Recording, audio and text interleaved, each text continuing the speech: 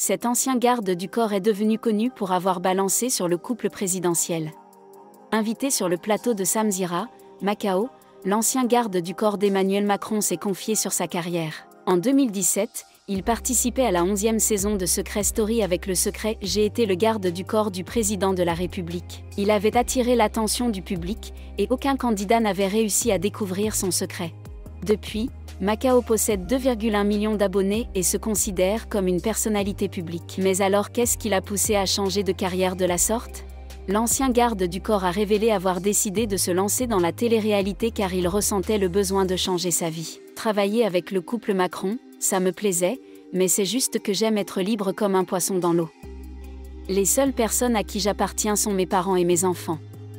Sinon, je n'appartiens à personne. Maintenant, il apprécie sa petite vie de star en dehors de la vie présidentielle.